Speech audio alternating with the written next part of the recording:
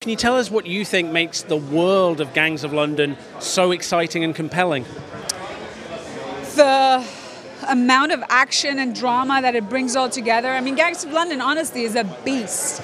Uh, it's such, it's really beautifully shot, and the cast is incredible, and yeah.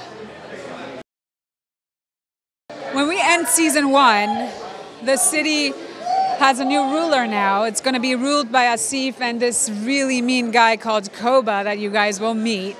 And that is going to mess up the entire structure of of London and and now these gangsters have to kind of like find ways to deal with Koba, which is not easy.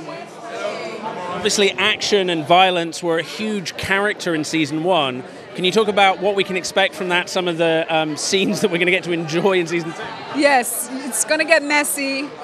It's going to be. It's going to have a lot of lot of action as well. And man, what can I say? Like, buckle up and get ready for the unexpected. I think we will see a little more of action sequences from Lale, which is which I'm really excited about, and I had a lot of fun shooting. And I think we will see Lale a little bit more vulnerable at some point, where we will see Lale for the first time letting down her guards. And yeah, let's see what happens then.